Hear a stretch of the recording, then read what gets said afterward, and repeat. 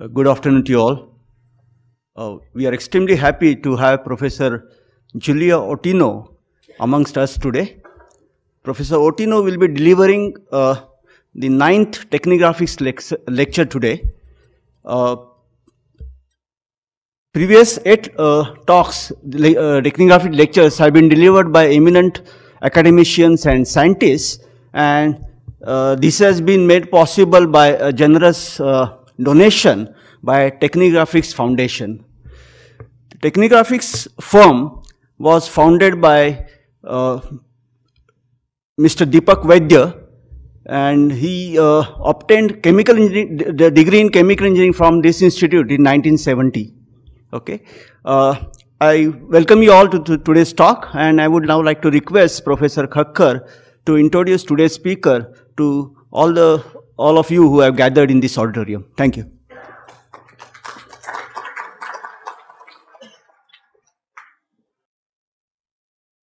Uh, good afternoon. Well, uh, I'd like to start by saying that you know I've had the privilege to introduce uh, many distinguished people over the last few years. Last week, our convocation speaker was the Prime Minister of India, and I did a brief introduction of him. And then in this particular auditorium, I introduced many people like uh, Montek Singh Ahluwalia, some of you may have heard, Deputy Chair Chairman of the Planning Commission, Mr. Kapil Sibal, Minister for Human Resource Development. He came and gave a talk here, inaugurated this. And of course, the first person who spoke in this auditorium was Mr. Dmitry Medvedev, President of Russia. So, but today is a really rare and special honor for me to introduce Professor Julio Ottino, uh, who is a distinguished chemical engineer, a teacher, and an academic administrator because of the personal connection that I have with him. Uh, Professor Ottino was my PhD advisor, and uh, 10 years after I finished my PhD, I reconnected with him. And then we worked together on some research collaboration for more than 10 years, which resulted in many nice papers and so forth. So it's really very special and it's probably a very rare occasion that one gets to introduce one's own advisor uh, for such a lecture. Professor Ottino was born in Argentina and he completed his diploma in chemical engineering from the National University of La Plata in 1974. Uh, he is a talented artist and he could have made art his career but he chose engineering as a profession, but he has continued with art as a hobby. Uh, his home and his office are adorned by his paintings, and today's lecture also connects quite well with his deep interest in art. He completed his PhD from the University of Minnesota, which has one of the top chemical engineering departments, in 1979, and then joined as a faculty member in the chemical engineering department at the University of Massachusetts immediately after he finished his PhD. So he joined in 1979. He continued there till 1991 when he moved to Northwestern University as the Walter P. Murphy Professor of Chemical Engineering. And then in 2001, he was appointed the Distinguished Robert R. McCormick Institute Professor. He continues to hold both titles. He served as the chair of chemical engineering department from 92 to 2000 and the dean of the School of Engineering from 2005 to now. Professor Ottino's research areas are complex systems, granular dynamics, mixing and segregation, and fluid mechanics of mixing. He has made many important contributions in these areas. And so let me just highlight a few of them because I know some of them. So his PhD research really was singular. I believe he was studying the mathematical framework of continuum mechanics with Professor Fosdick. And then using this foundation, he developed the first mathematical framework for the analysis of fluid mixing. Uh, if you read this, these papers, what I realized is that he went much beyond what both his PhD guides were doing. And really, I think that is really one of the key papers for those of us who work in fluid mixing. During his years at the University of Massachusetts, he took this step one step further and he cast the mixing process within the framework of mathematics, of nonlinear dynamics and chaos. This work was consolidated in the now classic book, The Kinematics of Mixing, Stretching, Chaos and Transport, uh, published by Cambridge University Press in 1989 and which has been reprinted in 1997 and 2004. The book has been cited more than a thousand times. If you look at the book, you'll realize that, uh, you know, he's a very good artist because the book has lots of his hand drawn illustrations. At Northwestern, he continued his work, continued this work, and also started new lines of work in granular dynamics and in complex systems. Uh, he has made seminal contributions in these areas as well. Professor Ottino has published more than 170 research papers, most of which are very well cited. Uh, many of the works have appeared on co- uh, cover of journals like Science, Nature, Proceedings of the National Academy of Sciences, and so forth, both because of their importance and because of their visual appeal. My path interact, intersected with Professor Ottino's in 1981 when I joined UMass as a postgraduate student. Uh, soon after joining, I decided that I would like to work with Professor Ottino for my PhD, and really just for one reason uh, because he was the best teacher that I had ever come across. Besides, so what I want, the point I want to make is that besides being a highly accomplished researcher, he's also an outstanding teacher. Uh, to this day, he remains my favorite teacher, and I enjoy listening to his talks, which of course always give me new insights. Professor Ottino has made many important contributions as an academic administrator, both as chair of chemical engineering and as dean of engineering. One major change that he has made at Northwestern is to transform the engineering curriculum to make it more of a whole brain activity so that the new curriculum includes greater aspects of design, perspective thinking, and some elements of art as well. Professor Ottino has served on many important committees and boards, which include the International Advisory Board of University of California, Santa Barbara, the National Research Council Benchmarking Committee for US Chemical Engineering, the International Review of Engineering in the UK, uh, of EPSRC and the Royal Academy of Engineering. He was chair of the NAE Peer Review Committee for Chemical Engineering and a member of the NAE Committee for, on Membership. He was a founding editor, and I think this is a really very nice contribution that he made. He was a founding editor of the Perspectives section of the AICHE Journal and associate editor of the journal from, 2000, from 94 to 2006. This perspective section has become very important in the journal now. He has been a technical advisor to Unilever for several years. He had been actually, and during that time he visited India several times. Professor Ottino has been recognized by numerous awards.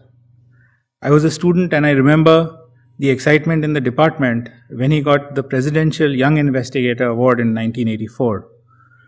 He has since received many others, including the Alan P. Colburn Award and the William Walker Award of the AICHE, the Fluid Dynamics Prize of the American Physical Society, the Guggenheim Fellowship, and so on. He has delivered many important lectures, including the Danckwerts Memorial Lecture in London, which is published in the Chemical Engineering Science Journal, as well as the Lacey Lectures at Caltech. He has been selected as one of the 100 engineers of the modern era by AICHE. He's a fellow of the American Physical Society, a fellow of the American Association for the Advancement of Science, and has been elected to the National Academy of Engineering of the US. And he was elected in 97. Uh, Professor Ottino's career has been characterized by a high level of creativity and a broad vision and his work has made an impact in fields far beyond chemical engineering. It is thus my pleasure to invite Professor Ottino to deliver the ninth Technigraphics lecture, Creativity in Art, Technology and Science. Professor Julio.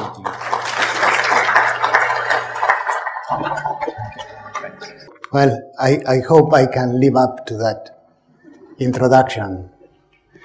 So, if any of you are thinking of making a career in academia, try to get a student like Devang be one of your first students. uh, I have had lengthy introductions, but none of them meant so much as this one. Uh, because in many cases the, the introduction is uh, kind of actually removed from what one has done, but with Devang, uh, given our close relationship, um, I'm very, very grateful for those words. Extremely grateful. So I'm, I'm very, very pleased to be here. I should have been here many, many years ago, but I'm glad that I'm here and I'm glad for being given this lecture and the support of Technigraphics. So I, I put some ideas together in here. Um, I haven't, it's a mix of things that I have done, but the, the mix is unique. So I have never done this. So I will be interested in getting a copy of the lecture when it's recorded. There are several messages in here. Um, so let me start by, by kind of telling you what is that I'm going to tell you. Okay, so, so the, what I'm going to tell you is basically three things.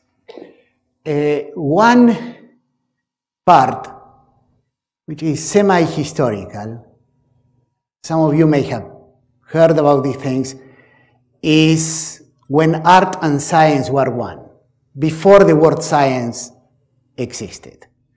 I'm going to get into some little kind of history about Galileo because he's a pivotal person. He's the best example of art in the service of science that I know of, but everything changed after Galileo.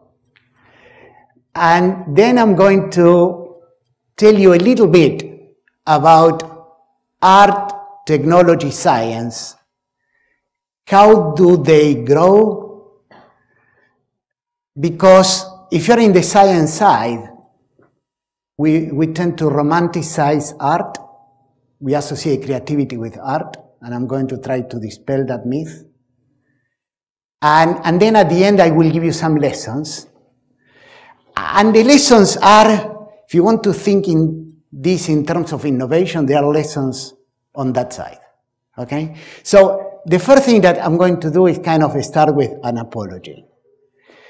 Um, G.H. Hardy, who was the person who discovered Ramanujan, and I understand is the 150th anniversary of his birth, he said, there is no score more profound and on the whole more justified. He, he wrote this when he was in his twilight. That that of the men who do, he regarded doing mathematics as doing something, for the men who explain. That's basically what I'm going to do here. Exposition, criticism, and appreciation is work for second-rate minds. So I'm, I'm going to start with an apology because that's more or less what I'm going to do explain. Okay? So the first thing that I want to do is, is to talk about the myth of creativity. Okay? This is Newton looking at the falling apple. There is no record that this ever existed. It's a myth propagated actually by French. Voltaire is the one who propagated this. And one of the things that I'm going to do is this myth of epiphany and the myth of a sudden genius. Uh, now, because this is deeply ingrained, uh, none other than Kant, one of the greatest philosophers who ever lived, he put artistic creativity on a much higher plane than mathematical creativity or physical creativity. For example, he, he argued that Newton was not as creative as Homer because in the case of Newton, never mind that this is not probably true, you could follow the steps in a logical sequence and therefore could be repeatable by someone else, whereas in the case of creating poetry by Homer, never mind that Homer probably didn't write any of what was claimed that was written by him. It was a composite of many historical figures. It, it suddenly came out of nowhere. Okay? So, but that's a myth that is still prevailing today. Uh, now, geniuses, we associate geniuses a lot with art, and the more tragic, the better. Okay? Uh, Arthur Rimbaud composed all the poetry that he ever wrote by the age of 20. And then he disappeared from the face of the earth and died at 37. And of course, you know about Mozart, and the fact that he died composing the Requiem also makes him more tragic. So these are people who seemingly got touched by God with this creativity. And there are other people, for example, you are familiar with this one, um, died at also uh, 32. Um, no one knows where the ideas came from. Tragic end. Uh, England was not the best place to be a strict vegetarian at that time. Uh, even more tragic is Galois. Um, I do not know if you ever receive letters of recommendations, but I don't think you will ever get one stronger than this. This letter is perhaps the most substantial piece of writing in the whole literature of mankind. So the, the story is Galois failed twice entering the École Polytechnique, arguably because he skipped steps and he got angry with examiners because couldn't, they couldn't follow his reasoning. Eventually, he had some ideas, submitted a paper. One went into the hands of Cauchy. Cauchy sat in the paper for a long while. Then another paper went into the hands of Fourier. Fourier died while having the paper in there. And one night, he scribbled everything that he had in his head. This is the letter that uh, Hermann Weyl is alluding to wrote everything, everything that he wrote is 60 pages long. Okay? Everything. That letter was much shorter. Every paper that he ever wrote, you can collect it in 60 pages. He wrote that, then left his home, went into a duel, and got killed at 20. Okay? And so if this is not a genius, I don't know what is it, because it's all the combination of tragedy and influence. I mean, there is something called Galois theory, and without him, we won't have many branches of math. Nevertheless, this is kind of rare. So if we have art, technology, and science as the three largest receptacles of human creativity through the ages, Uh, things that get passed from one generation to the next, okay? Because things are documented, there are pieces of work that get written down. The, the words that we can associate with them, roughly speaking, are with science is discovered. We believe that is something like an objective reality, and what science does is lift the veil and reveals what maybe was already there. If Watson and Crick had not discovered the start of the double helix, someone else would have. Technology is an invention, and since we are not in art in here, we will associate art with creation. But no artist that I know of associates what they do with creation. They will use words like provoking, transforming, challenging. Creation is a byproduct. You go, work, sweat, and a creative output is what sometimes happens. So art is not really equated with creation. That's one thing that I want you to take out.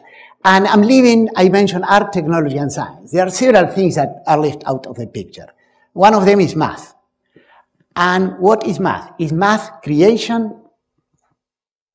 Some parts of computer science, which are connected with math, are connected with creation. But many mathematicians are kind of Platonists. They think that they discover things, that they exist regardless of them being the one who does the unveiling. So it's both creation and discovery. So I'm leaving several things out in here. And math is one of them. Now, to start with, creativity and science before there was science. Let me start with Leonardo da Vinci. Da Vinci thought that art, and especially painting, was a means to uncovering reality. And if you go and look at the collected works, part of which now in the hands of Bill Gates and the other half in the hands of the Queen of England, and you see these drawings about turbulence and anatomical drawings, it was a way of exploring reality. Uh, but at the time of Da Vinci, there was not such a thing as something called science. Science probably, in the way that we understand it now, maybe goes back to Francis Bacon and maybe Galileo. Now, let me, let me kind of mention Galileo for a second because it's a pivotal figure in, in this story. So Galileo so I'll focus on one story only, okay? Galileo, besides being a great uh, an accomplished physicist and being able to hold his weight on anything that was called theory subsequently, he had many talents. And one of them was he was a a very talented instrument maker. So he was at the frontier building telescopes. And he had built one at the same time that the person on the right of the screen, Thomas Harriot, built one. Now, they both look at many things. For example, he was able to discover that the Milky Way actually was connected many, many, many stars. He was able to see the moon's Jupiter. But one of the first things that he did was to observe the moon. Now, Galileo, I said, had many, many talents. He, for example, applied to the position of mathematician to l'Accademia del Disegno. L'Accademia del Disegno was a, a very important creation in Florence because it brought people who are going to be painters and architects and engineers and anybody into a common framework. And they were all trained in exercises in perspective. Uh, so all of those drawings and the shadows that they projected were part of what they have to absorb. There were things like theorems behind, and in there um, I think I mentioned one um, like something that is uh, exercises and demonstrations and this and that. So everybody who was in Florence and was in this line of work was trained in this. Galileo knew about this stuff. He applied for the position of mathematician in l'Accademia del Disegno and was rejected. Eventually, he got accepted in the Accademia del Disegno because of his strength as a painter. Okay? But this, this was the atmosphere that he was living in. On the other hand, Harriot in England had nothing comparable.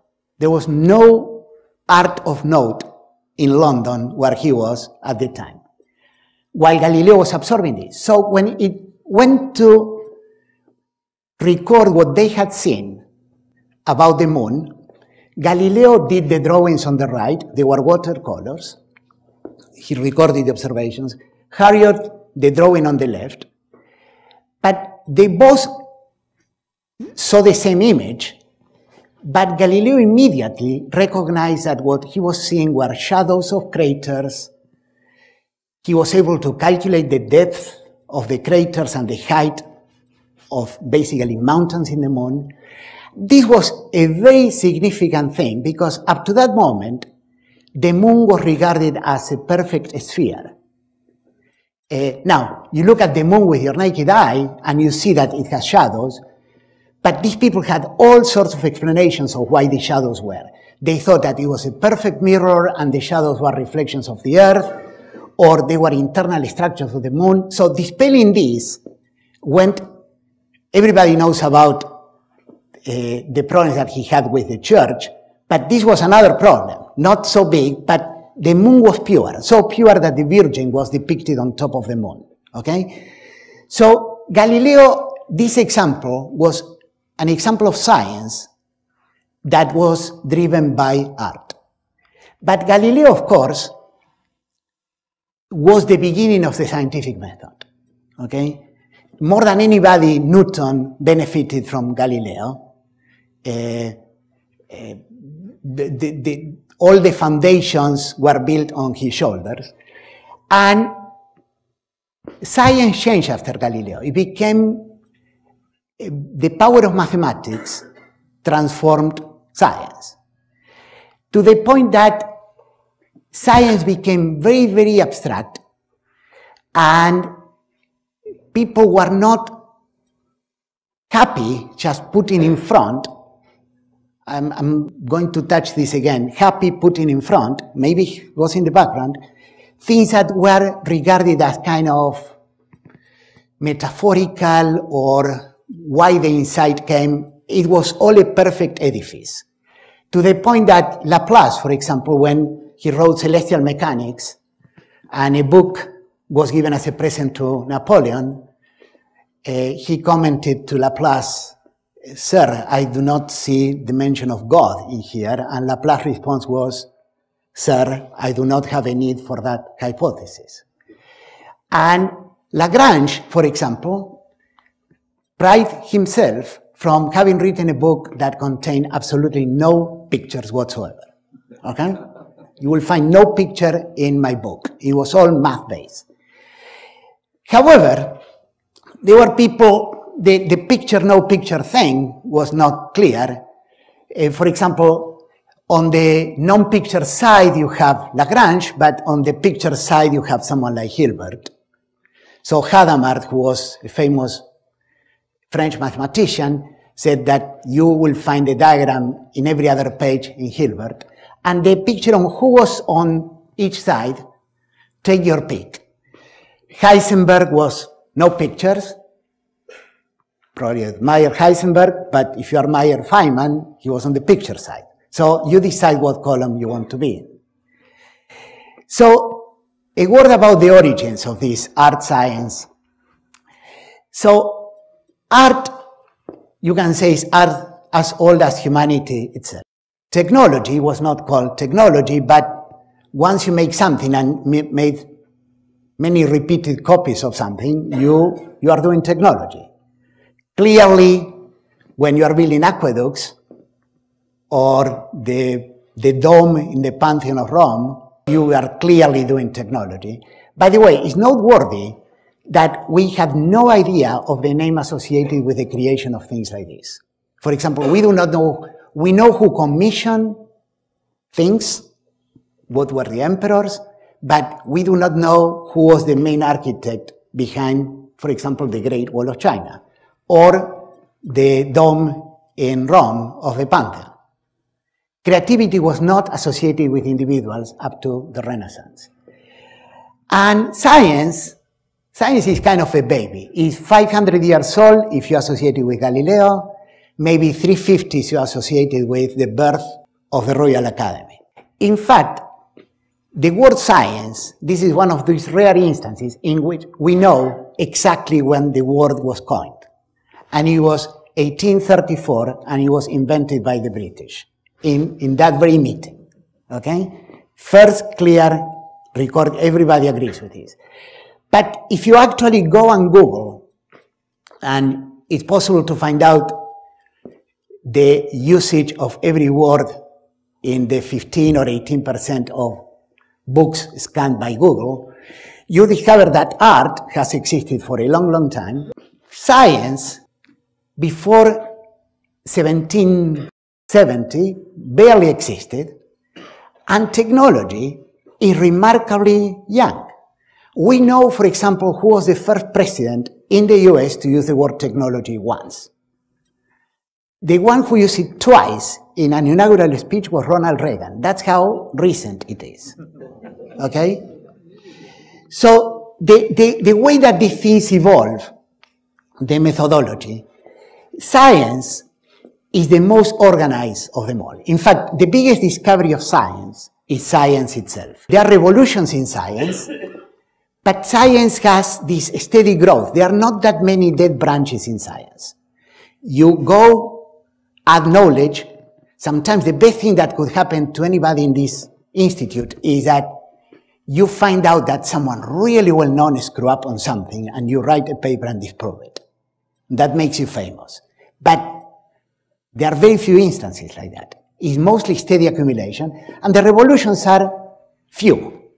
Quantum mechanics being one, maybe the, the origins of uh, cell and molecular biology is another one, very few. You stand on the shoulders of giants in science. You build on previous knowledge. In technology, the only reason to stand on the shoulders of someone else is to crush them. You want to replace one technology by another one. You don't wait until the technology is exhausted. You just build constantly and you try to replace a paradigm before the paradigm gets uh, actually exhausted. Art is the most kind of chaotic of them all. You, you wouldn't have any competitive advantage by painting like Monet now or Renoir or Van Gogh, it has been done. You have to do something else. So it's a constant reinvention, especially as you approach the 21st century. In fact, these uh, paintings, they were all done in between, I would say, 1890, 1950. If I were displaying them on a table and asking them, put them in order, there is no way on earth that you can do it and unless you really have taken several courses in the history of art. In fact, these, they are all sort of the same period, and these two, in fact, were produced by the same person. They look completely different, but it's by Gerhard Richter, who is probably the most, certainly the, the, the artist that has sold things for the highest price in the world now, still alive. So how do ideas grow in these domains? The ideas grow in this domain, Uh, and this diagram tries to explain this. In every domain there is something called the domain, and the domain is what would exist even if the people who were the responsible for the creation of these things wouldn't exist. So these are papers, books, patents, knowledge, paintings, compositions of different kinds. The domain is what, if we were obliterated from Earth and these things exist, the domain will exist. But the domain has gatekeepers. And the, this is the field. The field are the people who practice in the domain and the, the people who are the arbiters of what gets into the domain. In science, it's pretty clear in, in order for something to be adopted and be part of the domain, it has to be published, someone has to review it, accept it. Just because it's accepted doesn't mean that it's forever. It's, but let's face it, most of the things that get published are not earth-shattering. Okay? Uh, eventually, the domain makes a conscious decision that this should belong as part of this. In art, the same thing. There are people who decide what is worth of inclusion in museums. Uh, but there is more revisionism in, in art than in technology. And in, in technology is the most democratic. Everybody decides what gets adopted. So, something is creative if the field collectively decides that is creative. Okay? Now, as I said before, last time, uh, before the Renaissance,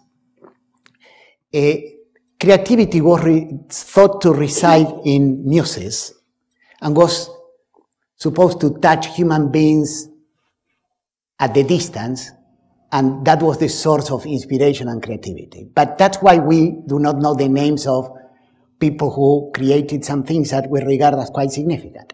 In the Renaissance, the pendulum shifted the other way.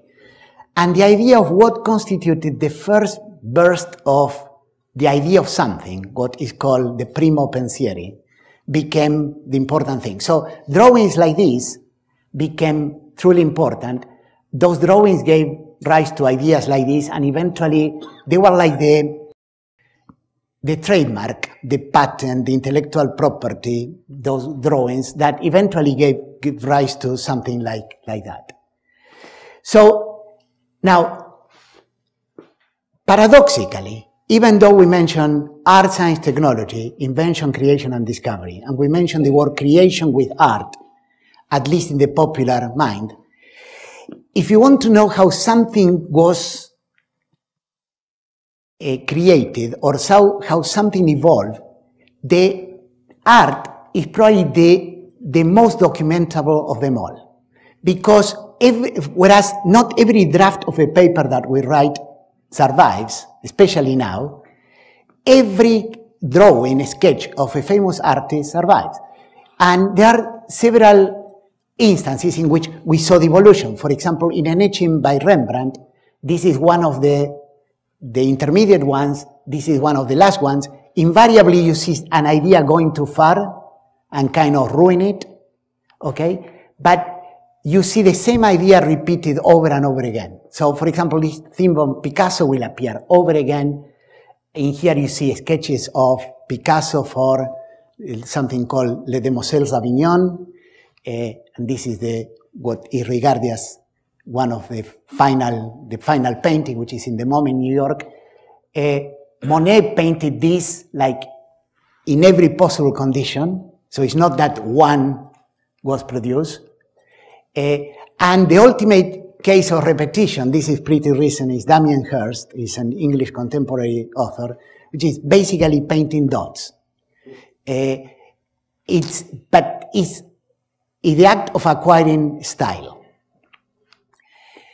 In here you see exercises from Matisse before producing what may be the iconic final picture, which is in the in Russia at the, at the um, Hermitage.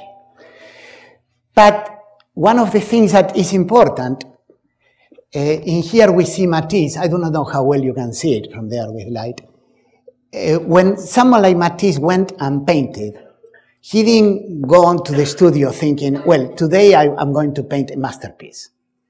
He just, every artist goes every day and paints. This is probably what you think people in science do. You show up, you do something. Some days you do something good. Many, many days, nothing major happens. So when Matisse was stuck, not knowing what to paint, he painted his studio with the painting in the background. That's one. This is another one. You just go and work. Okay? But how do ideas, new ideas occur? One, one concept that I like, which is due to Stuart Kauffman, who is a theoretical biologist, is the concept of the adjacent possible. At any given point, in any domain, there is a frontier. Is the frontier you get to see it by visiting places like this. There are people who are at the edge. Uh, they cannot see kind of going an epsilon away, but sometimes you can connect two ideas and you move in there. So if you are at the, at the adjacent possible, may be possible for you to break through the boundary, to produce a breakthrough. Sometimes if the breakthrough is important enough, it has to be a break with, because in order for the new idea to burst through the boundaries, you have to really break with ideas that they were very dear to you in the past. Every new idea that is of note requires you breaking with an idea of the past. This is some connection with the innovation picture in here. So there are examples of people who were really always at this adjacent possible. One documented case is Kelvin. Kelvin had lots of ideas. several of his ideas were ideas that were done in conjunction independently with other people. So these other people were different groups. So For example, one group was people like Stokes, Green, Helmholtz, Cavendish, Poincaré, really class A people in science. The other one were probably kind of a notch below, Lamé, Pfaff. Now, the fact that Kelvin had ideas that these people had at the same time that not diminish Kelvin's greatness. But what indicates is that even to sort of produce the same ideas that Kelvin produced, a subset actually of the ideas that Kelvin produced, you needed this big entourage of first-rate people. But he was always at this adjacent possible. Now, this gives rise to what is called simultaneous discoveries. In fact, uh, Stephen Stigler, who was in University of Chicago, said something is called Stigler's law that said no scientific discovery is named after the original discoverer, including Stigler's law, because this fellow Robert Merton said it before. Okay? So sometimes he's the first person who connects with the right crowd, the one who puts in the most elegant form, but this idea that there are several people at this adjacent possible coming with uh, similar ideas at the same time is very, very, very common in science, especially now. Sometimes it helps to be at the right place at the right time. This is one of the most illustrious photographs ever taken. But all of these people, I mean, look at the names. Schrödinger, Pauli, Heisenberg, Debye, Knudsen, Bragg, Dirac, Compton, de Broglie, Born, Niels Bohr, Langmuir, Planck, Madame Curie, Lorentz, Einstein, Langevin. They are not all of them, okay? But they, they all became famous because the, the field was bursting with new ideas and they all could pluck different things from that same receptacle of open problems. They were all at the boundary of this adjacent possible at the same time. So we mentioned how ideas come into being. And one of the biggest deceptions in science, and the biggest problem that people have, students, in fact, you read these papers, and especially if it's a great paper, it looks perfect. And you have no idea, you have the faintest idea on how the idea came into being. So some people have commented on this. Two of the ones that I like the most are Helmholtz, which describe that when you reach the top and you have to give a talk like this and say, how is that you did that great thing? You describe a royal path, kind of heroic, okay? But you don't describe the shaky ladder that took you there, the, all the tentative steps. Uh, Ludwig Wittgenstein, one of the most famous philosophers, who, by the way, had a degree in engineering, he put it more aptly and he called it kicking the ladder. Or the one that I like the most of the quotes is the secret to creativity is knowing how to hide your sources. so, a little bit about reading the future. I'm going to go quickly through here. So, if you are in this adjacent possible, depending on the time, there are times that are really ripe for benefits if you are the right person at the right time. So, for example, and how do you know this? The answer is you never know. In my view, life is like driving an impenetrable fog. In front of you, all of us can see only five feet ahead. But in the rear view mirror, everything is perfectly clear. Okay? So, but becoming good at this business of reading the future is becoming more and more and more important. So every two years, IBM, for example, does a report where they interview thousands of CEOs. So this is the N minus one report. The last report was released probably a couple of months ago. and they asked the question, what's the most important issue facing today? What's the most transforming thing? In the last one, by the way, more than anything else, the answer was technology. More than economics, technology. But in this one that was done uh, in 2010, they asked CEOs two questions. What's the most important problem facing you today? And the other is, what's the most important characteristic that leaders have to have to prosper in this world? The, the number one issue was complexity, and the number one characteristic to defy complexity was creativity. I believe that creativity can be, if not learned, if you have the desire, you can at least not hinder it in you or others. So the problem is, and this, this will be a very short detour on something that comes dear to me, is that sometimes our thinking is, is not appropriate to the times. We still live in a kind of linear world. So for example, if we face a problem, and this could be many, many examples, like the decreasing population of cod in the North Atlantic, we tend to try to find a reason. And one reason is we know that the harp seals eat the cod. The cod feeds from plankton, but we, we can think in this linear space and we, we kind of think that, oh, if we control the population of seals, we can somehow take care of the problem.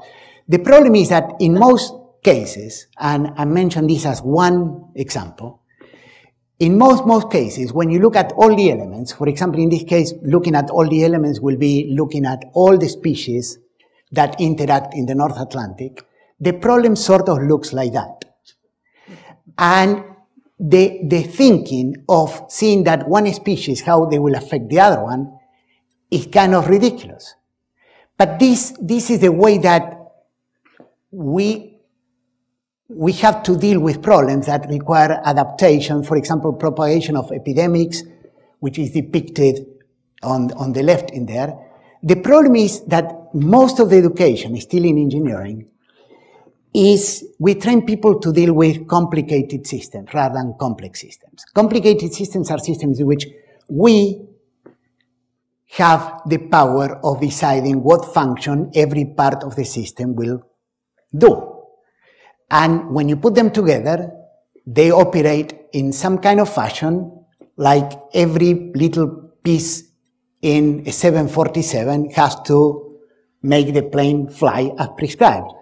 But it's not that if the plane loses something, there will be a growth, automatic growth to replace that, uh, like in an ecology we have dealt mostly with complicated problems rather than complex problems.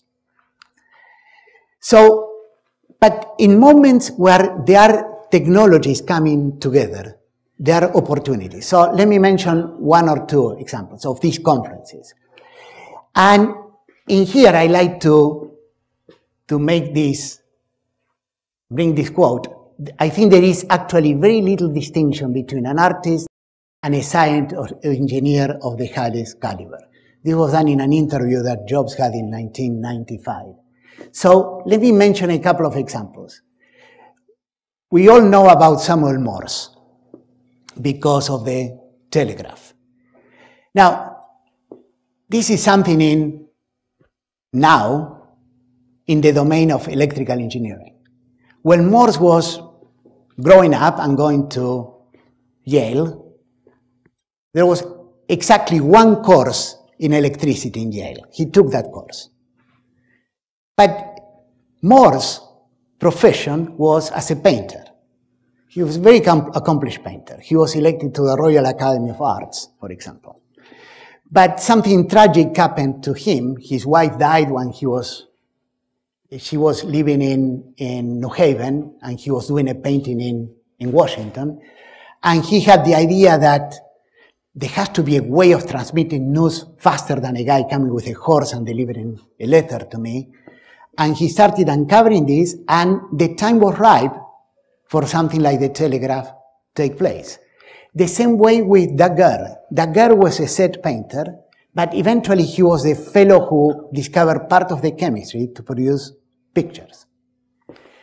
Uh, sometimes the ideas you, you are at the wrong place or too early or too late, as you can, you can argue. For example, this fellow, Joseph Faber, was a fellow who tried to produce a device to reproduce human voice. Now, but in the time in which he was living, there was nothing like, no one could dream up of something digital. So when we tried to produce something to reproduce human voice, he tried to produce actually like the head of a person with all the associated tubing and air going through. Uh, apparently, the idea was important enough that got that little mention in, in the Times of London, but the, the guy got committed suicide. His, uh, I think his nephew tried to continue with the idea, eventually went nowhere because it was a good idea, but the right, the wrong kind of technology behind. So, but in these moments of confluence, sometimes things come together. One moment in the history of mankind where the idea came together. I mentioned science didn't uh, exist as science. It was called natural philosophy before 18, 1770, something like that. But this society, for example, called the Lunar Society in Birmingham. It was called the Lunar Society because they met during the full moon. Because it was easy to walk home. There was, electricity was barely there, so they could find a way of walking home. This was the first time in which the people who studied the, the how, okay, the propositional uh, knowledge or, or the, what things happen and the proto-scientists met with the people who they knew to do things, the how people, the engineers, and with the entrepreneurs. So, for example, uh, people who are scientists, uh, like Darwin, this was actually the grandfather of the Darwin of evolution, and Priestley, who we know from chemistry, met with people like Watt, who were engineers, and Smeaton, who was, Smeaton was probably the first big time consulting engineer. He made a fortune. With people who are entrepreneurs. Uh, if any of you collects porcelain or things like that, you will know the name Boulton and Wedgwood. So these were the people who study things with the people who know how to apply the science with the people who actually could make stuff. This resulted in an explosion of things. Okay? And when you study the, the the collision of things that make an idea flourish is usually more than two things. Two things is kind of easy to combine. Three is much harder. So I'm going to go very, very quickly. So I mentioned Morse. So for Morse to come with the idea, he needed an electromagnet to be there, batteries, and even if those two things were in place, if you couldn't make miles and miles of cable, you got nothing. Okay? Uh, Daguerre, you needed a chemistry to record images and a chemistry to focus images, and also the idea of the camera obscura, and like that with many, many ideas. From Henry Ford was not the first person coming with the idea of uh, the concept of the assembly line. He was simply the first person who made a successful application of the concept of the assembly line. But in order to produce car after car, there has to be plenty of gasoline, and the, the engine has to be perfected. If, if these things were not all in confluence, you get nowhere. And like that, you can mention many, many things, including up to the internet, if you want, with uh, Vinton Cerf, who is, is very much still alive and still working in, in Google. And you can argue in the same way and dissect the iPhone. The, you hear many, many times there is no new technology behind the iPhone, but several things had to come together to make this thing probably the most indispensable part of our lives now. So I want to end up with a few lessons that I think are worth learning that come from the, the right side of the brain. Okay? I alluded to this a, a little bit. I alluded that with Lagrange, things got very, very analytical and everything that is analytical, math, logical thinking, that kind of things, the skill that places like Caltech, MIT, IIT kind of self-select for people who are really good in the math side. These are kind of left brain skills, okay? As opposed to artistic, metaphorical, divergent, and everything that I'm saying is a metaphor, which I'm going to call right brain skills. But to kind of hone on the idea, let me give you one example. People have studied uh, damaged brain patients, either because they have had massive lesions that have made them lose one side of the hemisphere, or prior to the 60s, uh, some people were actually, who had schizophrenia, were uh, treated by severing the connection between the hemispheres. In fact, William Sperry, who was in Caltech, Caltech has no medical school, he won the Nobel Prize of Medicine by studying people like this. So, one example coming from San Diego. People are given that image, and then they are asked, tell me what you see. So the people who have only the left brain active, they see that. And people who have only the right brain active, they see this. The point that I'm trying to make in here is in general, you need both. You need the details and you need the big picture. Big picture is good if you have lots of people who can take care of the details, but probably you'll never be the guy at the top of the heap dealing with the big picture unless you have mastered the details. In reality, you need both.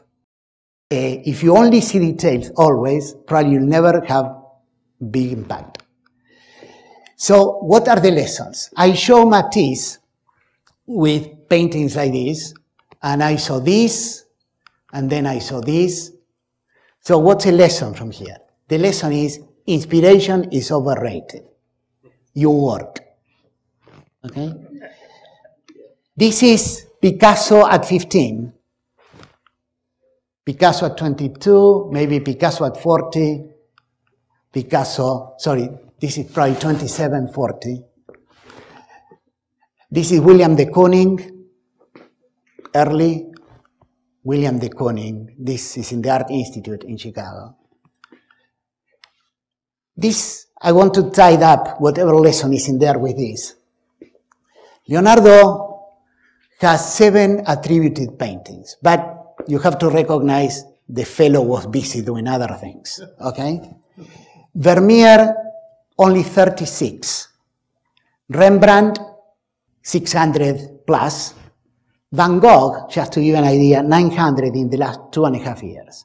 Picasso, and he kept this for 70 years, did about a painting every 2.2 days. Okay? Andy Warhol, but his career was shorter, about one and a quarter things for every day that he was working. So what are the lessons in here? The first one is start with a solid grounding.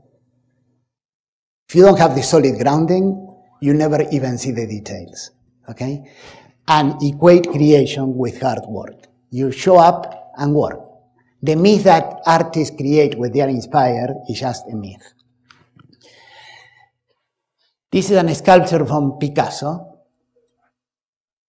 and this is a close-up. So all the sculpture is done with found parts. Like the head is two toy cars, kind of put together. And actually, if you see the sculpture and you see how it's made, you can see the, the toy cars. But the lesson in here is this. Adapt and adopt.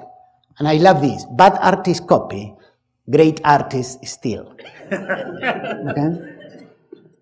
The still part is when one of those three technologies that I was talking about becomes part of your idea. Copying is just copying. This is Picasso.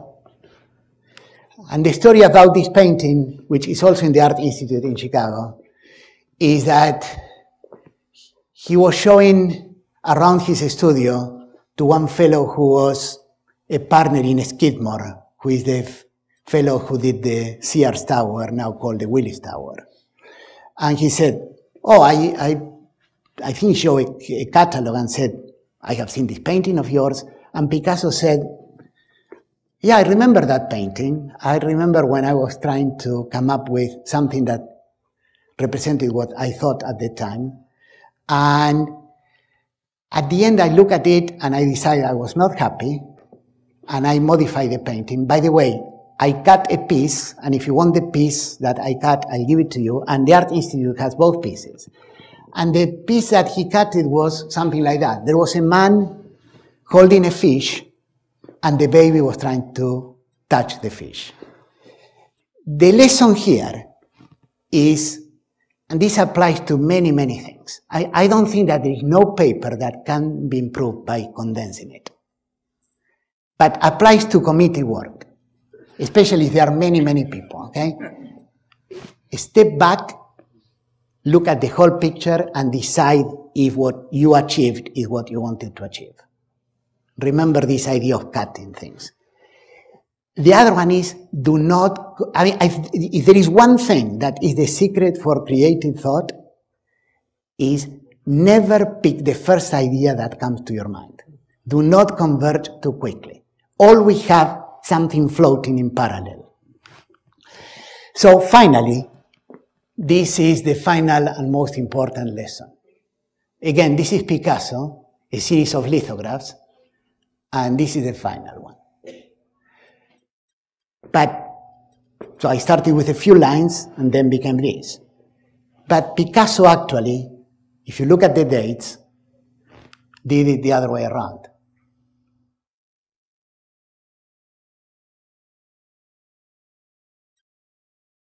This is the last one. So the lesson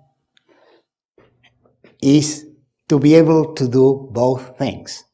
You have to be able to see simplicity in complexity and complexity in simplicity. Very few people can do both. Now, there are lots of examples that one could use, and I could, in retrospective, have used an example of something that maybe Devang and I work uh, in, instead, I, I try, try to pick one that is more of a classic. And the, I pick this one, okay? This is the entire paper by Watson and Crick, okay? 900 words. one figure that I think was done by Crick's wife, okay? Um, the paper has been analyzed to death with regard to the writing uh, start, this is the beginning sentence, is, is double tentative. We wish, tentative, to suggest, again tentative, a possible structure for DNA. Okay? This is probably a big understatement. Okay? This structure has properties of considerable biological interest. Now, in order to come up with this picture, and they were competing with Linus Pauling, who was hot on their heels in Caltech, okay? They consulted with everybody. If you ever read the teeny little book by Watson, The Double Helix, they were talking with astrophysicists. They, they, they, they tried to get ideas from everywhere. So out of all of those ideas, including pictures from this woman who many believe deserve the Nobel Prize with them, Rosalind Franklin, they converge and produce that picture. Okay? In some sense, that's what a theory is. You have lots of disconnected things, and suddenly there is one crisp and clear picture. But that's not the end of the story. The end of the story is that from that picture, there are consequences. And if that sentence was an understatement, this is even more so. It has not escaped our notice that the specific pairing we have postulated immediately suggests a possible coping mechanism. In fact, all biotech is contained into that picture. Okay?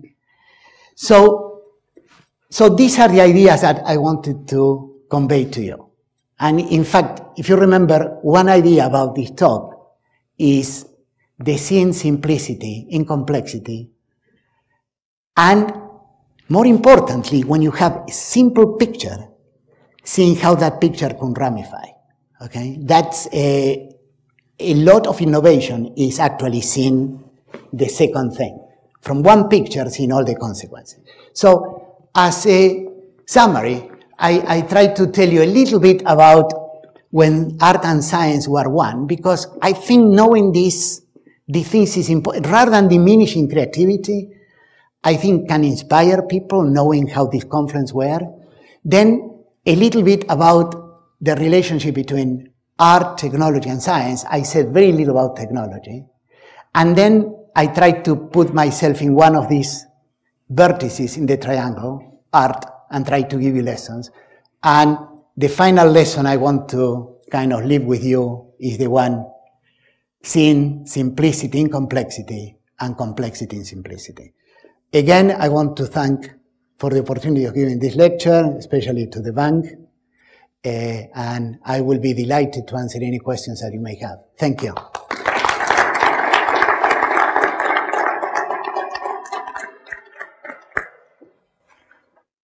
Any questions? Yeah, yeah. This is the first time I uh, heard you speak on this topic. Mm-hmm. Very fascinating. No one is a prophet in his own land. yeah. Very illuminating. Yeah. My question is uh, I mean, this is a fantastic example of artists, scientists, but that was in a different era where the communication to some extent was limited. So perhaps Europe was advanced, so there was some communication within Europe or within the artists.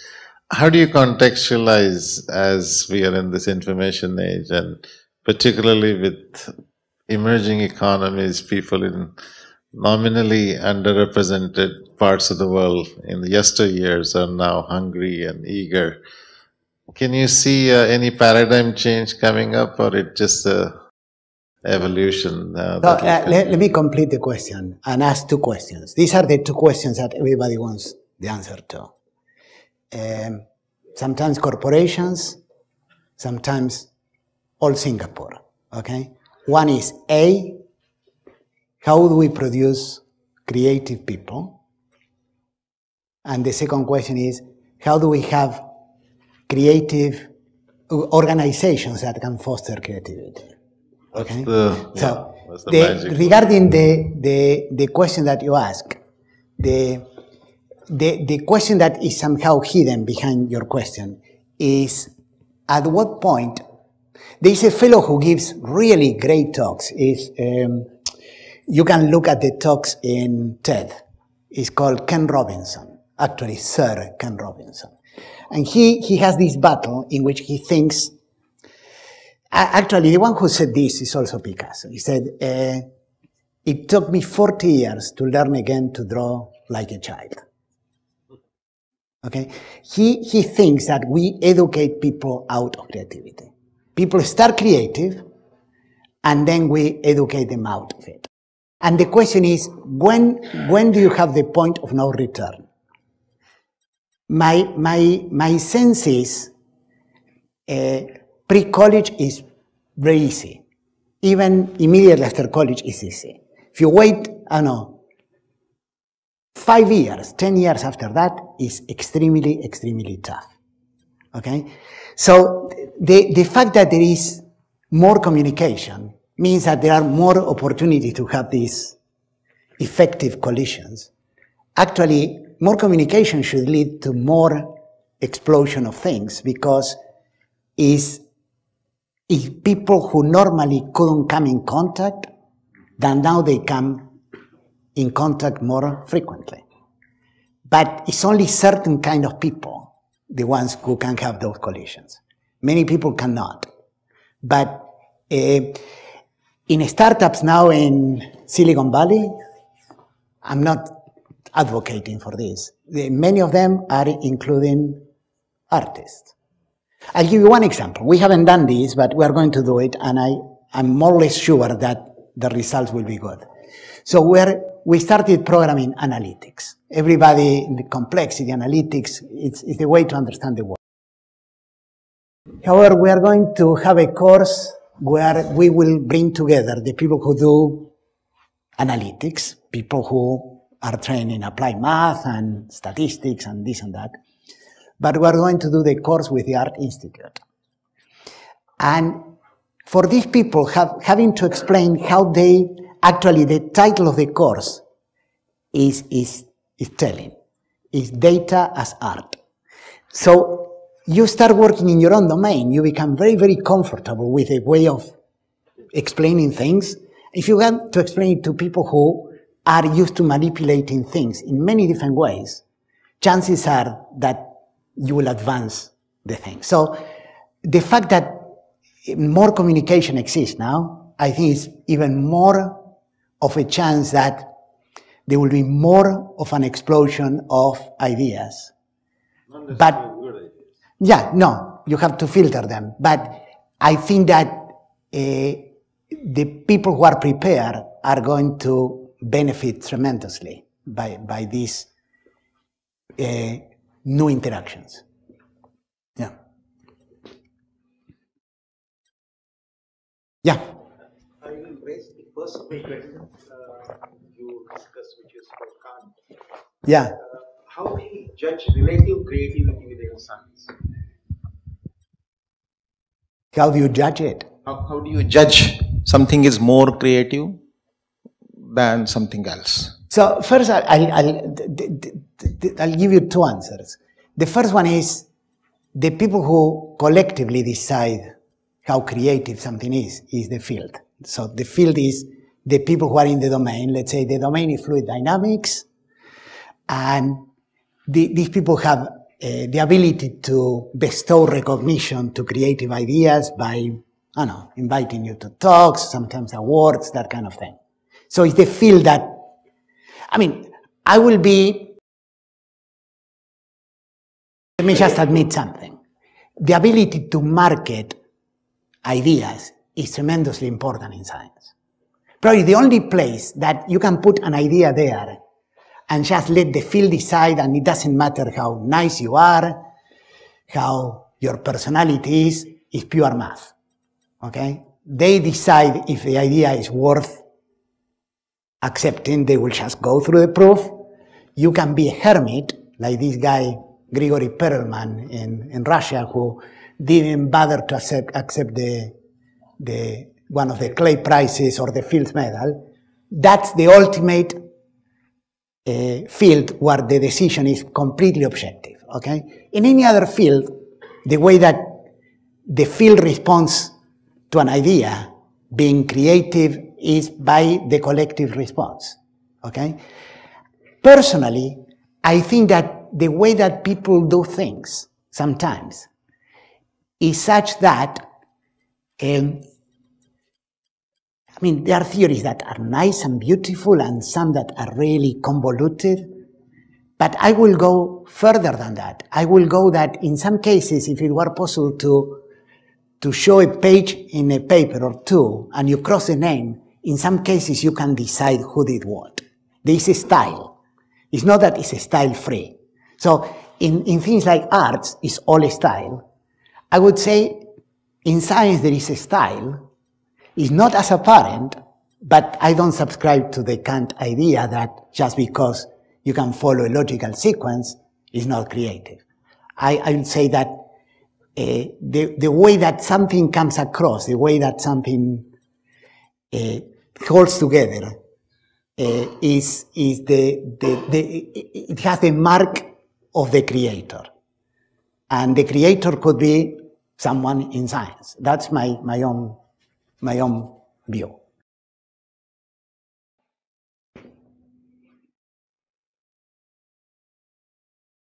Yeah. I was a little disappointed when you said that hard work really is. Yeah.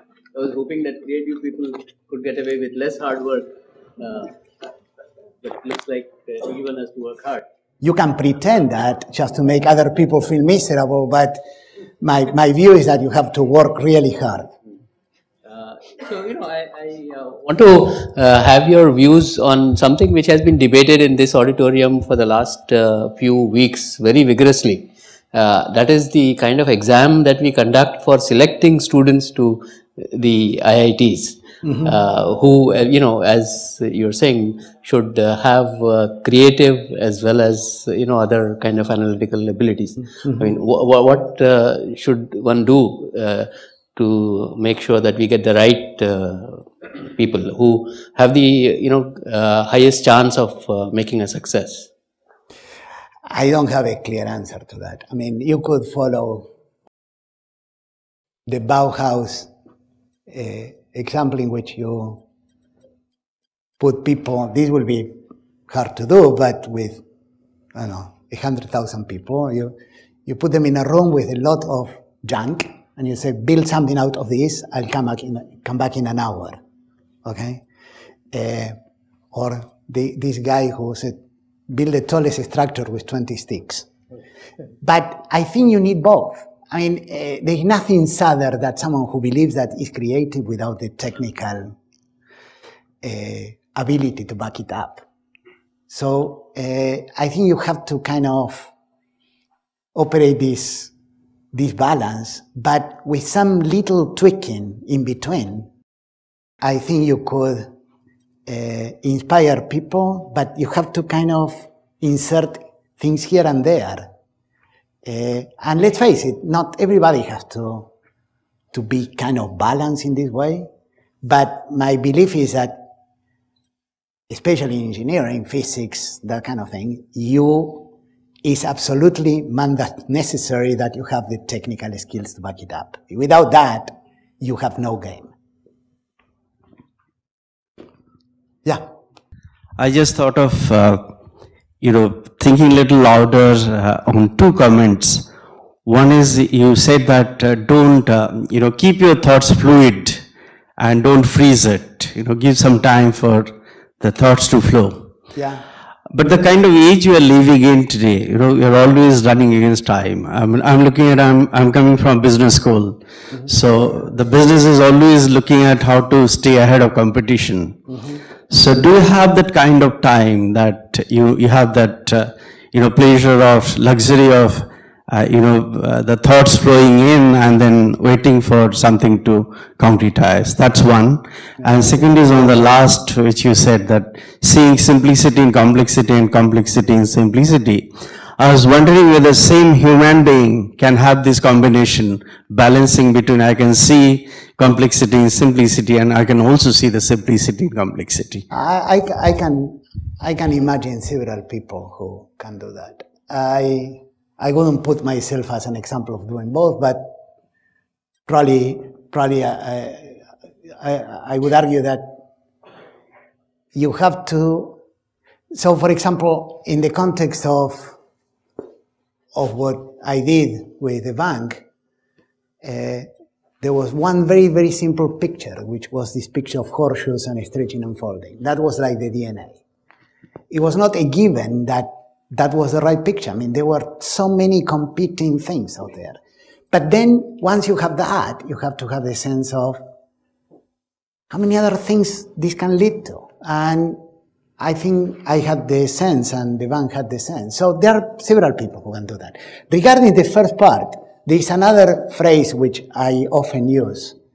Uh, in Italian is uh, impara l'arte e mettila da parte, which means learn the craft and then set it aside.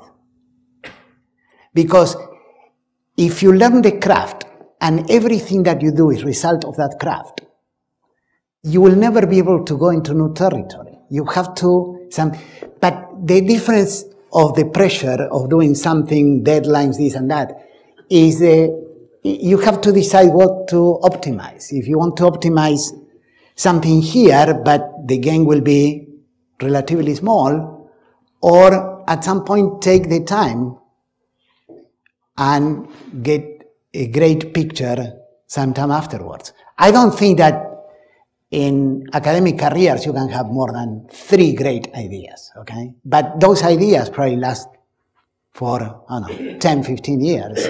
So, but, uh, but it takes, once you have picked something and you are locked into it, it's very hard to walk away from it. So I think the idea of taking time to decide what you want to lock in is critical. I mean, there are branches of science in which the degree of inertia, eh, for example, heavy experimental things, once you have made an investment, it's very hard to make a sharp corner. I, I always try to do things, for example, in my case, and I think Devang is another perfect example where it's almost desktop science. Very cheap investments, but you can adapt with the times and you are not locked into anything. You, you just, it's a luxury. You'll never have a group of 30 people, but you live lighter, you can maneuver more effectively. You're not like an oil tanker, you're more like a kind of a speedboat. So, The same token, can you do two at a time? You can have, you know, trains running on time. oh, I think that's probably a very good idea. And there are many people who will tell you that working on two or three parallel things. I, I I will summarize this by giving you the three essential elements of creative people. Okay, Uh, I'm completely quoting in here on someone who I deeply admire, and is Herb Simon, who was at Carnegie Mellon, won the Nobel Prize of Economics. He could have won it for anything. He was associated with artificial intelligence and this and that. So one was deep knowledge in an area and related areas. He said 10 years. Uh, Malcolm Gladwell publicized this as 10,000 hours. This applies from child prodigies to Mozart to Bobby Fischer, deep knowledge. Um, the second thing was uh, ability to hold uh, problems in background thinking for a long, long, long time without acting on. And the third one, which is the most, is like a litmus test for creativity, is the ability to deal with loosely structured ideas and structure them in the process of time. And this makes many people uncomfortable. They, they want to see the idea sort of perfect, and while it's messy, they kind of lose patience or they don't interplay well with other people. They, they demand, but the, the benefits in anything goes to the first person who did the first sketch of something. And then what remains in, in science is the augmentation, the cleaning up, the beautification, throwing more and more technical stuff on top of it until, I mean, when you're at the beginning of something, you, you get after 10 years paper to review and you have no idea what these people are doing because it's so heavily shrouded in math that is unrecognizable. But the, the, the initial idea was there. So these three elements, deep knowledge, ability to keep ideas for a long time in background, and then the ability to structure things. I, I completely agree with Herb Simon. Those are like the three basic ingredients of anything that has been deemed creative done by anybody. Now, notwithstanding the examples that I showed at the beginning that do exist of someone like Ramanujan or someone like Galois that seemingly out of nowhere, the ideas kind of flower, sort of flew in their heads and you have no idea how, okay? Because Ramanujan died at uh, 32 or Galois 20, uh, that, that kind of is borderline for these 10 years of experience. Yeah. So thank you again so much for the opportunity. Okay? Thank you. I'm sure you, each one of you would have found this uh, uh, talk to be thought-provoking and fascinating. I would like to request Professor Khakhar to present this memento to Professor Ottino.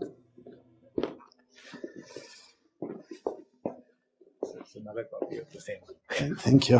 Thank you. Great talk. I really enjoyed it. Thank you. Thank you so much.